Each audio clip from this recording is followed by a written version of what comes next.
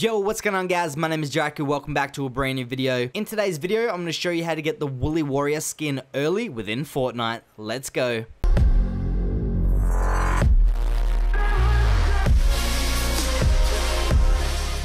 Alright, so all you guys have to do is start up on the main menu screen where I am right now. After you are here, we're going to go ahead and click the gift icon up in the top bar right next to the word play. Once we've clicked on that, we'll be greeted with this screen in which down the bottom right, it will say visit lodge. Click on that also. Once we are taken to the lodge, we will be greeted by Crackshot who is sitting on his throne and we will notice a bunch of presents sitting on the left hand side of the screen and also on the right hand side of the screen. Now basically, the present with the Woolly Warrior skin in it is the big green present on the left hand side. But when we click on it, it says that we have to wait and open this present last. But this is how we get around it. So what we're going to do is not open up the presents on the right hand side of the screen. If you guys have already done this, then you won't be able to do this sadly. You can make an alt account in which I did and repeat the process that I'm about to show you. But pretty much what we're going to do right now is open up all the presents on the left hand side of the screen. And once you guys have opened up every single present on the left hand side of the screen, if we go ahead and click on the big green present once again, you will notice that we can now open it. So go ahead, hold hold the button you need to open it, and once it pops open, you will now notice that you have been gifted the Woolly Warrior skin within Fortnite. It's as simple as that, guys. Like I said, if you have opened up presents on the right before,